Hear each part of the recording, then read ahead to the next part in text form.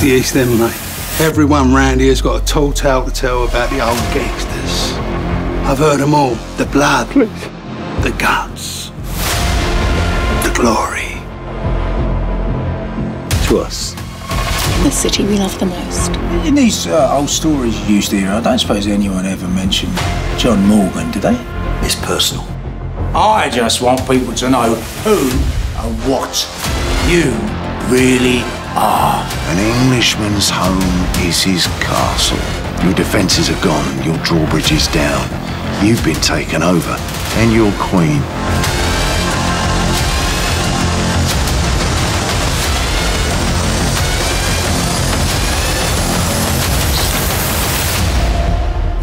Hell must be empty.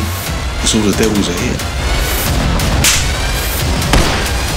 Sometimes in life, if you want to catch the bad guy, you have to become the bad guy.